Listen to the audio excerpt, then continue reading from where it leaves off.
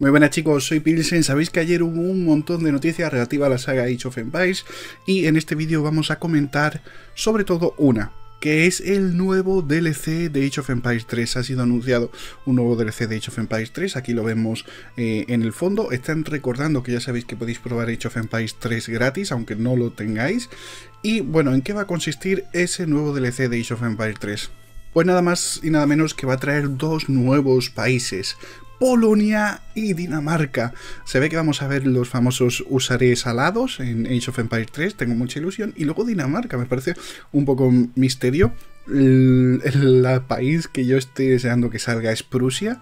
Lo veo difícil, pero bueno, eh, simplemente vídeo corto para contar las novedades de Age of Empires 3, ¿vale?